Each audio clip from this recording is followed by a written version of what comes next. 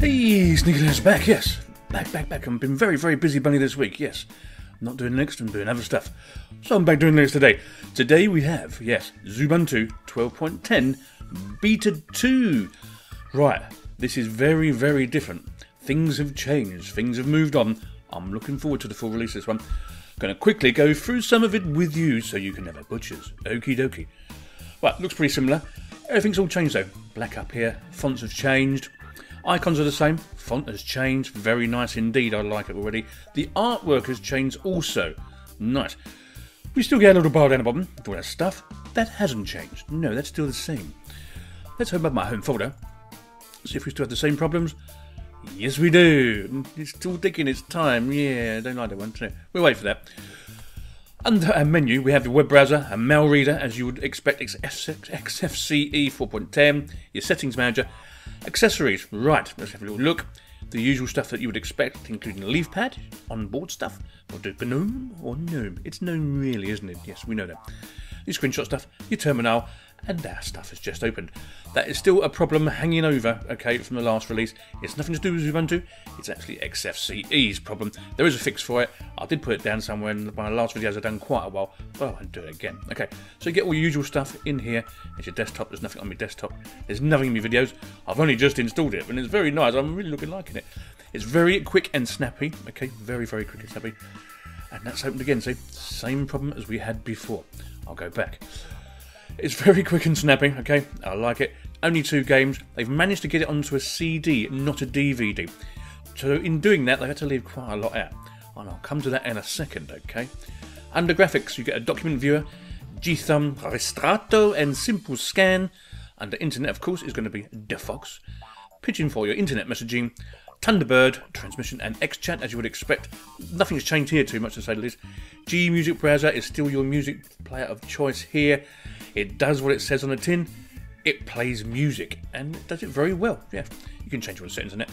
This is only a quick intro video, really. I'm not going to go into it until the full release, which is going to be in around 20 days, I take it. Or something like that, anyway.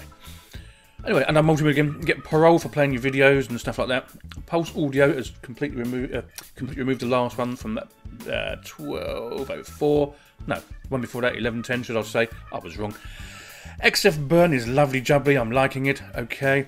AbiWord is here, as you would expect. I'm not sure what version it is, but we'll go and have a look now while I've, you, I've even had a chance have a bit of a drinkage there. See how nice and quick and snappy it is.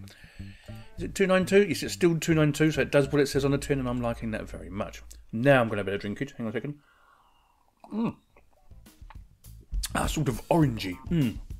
Anyway, where was I? Done that, didn't we? Done that as well. You get dictionary, a document viewer for your PDFs, Orage is here for your calendar and stuff. Under system, okay, Gigolo, iBus, Nepomuk, Nepomuk, yes, and our task manager, which I'm going to open up and show you.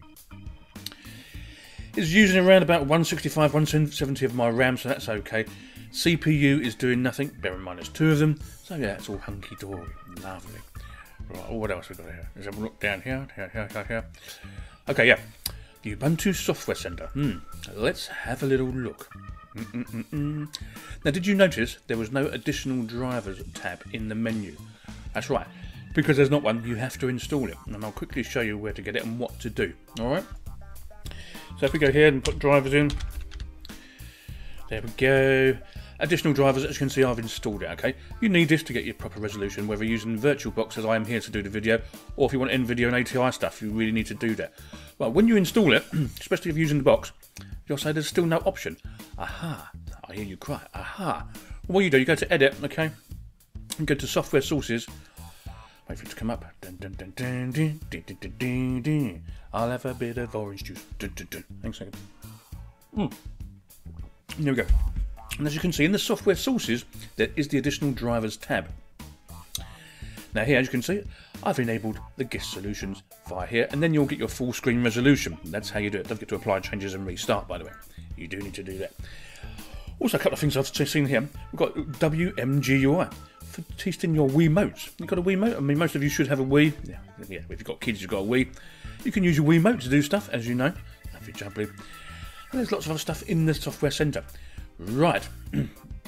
Also, mm, yeah, we'll open that. We'll open the Firefox up first. See what version of Firefox he's using. which should be the most current one, really, shouldn't it? Really? Yes. Go to about Firefox, and it's 5.0.1, which is lovely, of the jubbly. I'm going to go here, Beaver make sure it all comes up all nicey. Looks nice and quick, lovely, and the colours are nice, and the fonts are nice, and it's very, very nice. Ooh, a bit of a plane crash, bit of a bummer that, wasn't it? Yeah. Yeah. Anyway, it all comes up okay. I have not installed Flash or anything like that yet, so I can't actually play you a video. But I'll probably do that later after I've been playing it for a bit longer, because I'm going to play with it all day today, because I've not got work. Mm, mm, mm. Right, anyway, what was I say? If I go to system and stuff like that, you'll see there is no Synaptic. Hmm, you're saying, oh, but I really like Synaptic. Well, if you don't know how to install Synaptic, basically all you do, open up the terminal, okay, there we go, and you type in sudo apt hyphen get install syn yes, I didn't even put my thing in there, sorry. Install space synaptic. There we go. Put my password in. That's it stuff. Do I want to do it? Of course I do. And it will download Synaptic for you to make you feel more comfortable and a happier person. Yes. Doesn't take very long, as you can see. Actually doing it for us now. Blah, blah, blah, blah, blah. Doing the triggers. I'll have another drop of orange juice while I'm waiting. Hang on a second. Mm -hmm. Mm -mm and it's doing it. And it's done. Okay.